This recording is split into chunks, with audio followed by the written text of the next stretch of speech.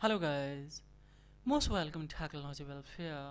In this video tutorial, especially I would like to show you how you will hide or how to hide date and time clock on your Windows 10 taskbar or Windows taskbar.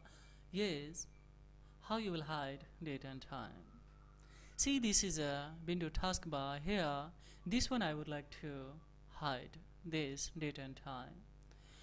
Why is so? Because sometimes it's very useful, my dear, in a situation when you're recording any video of your screen, desktop or laptop, and you are not in tutorial to disclose date and time.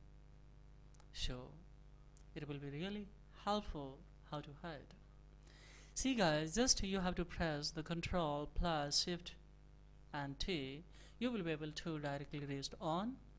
Yes window taskbar yeah directly you can click here and you can access this feature.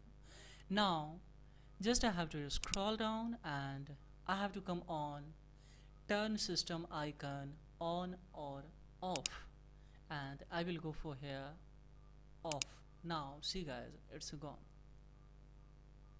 Now it's closed so here yes according to your inquisitorial or desire you can decorate. Also you can design of your window taskbar so this is all about in this video tutorial guys. And of course I would like to request that this video has been benefited to you in any way to enhance your knowledge.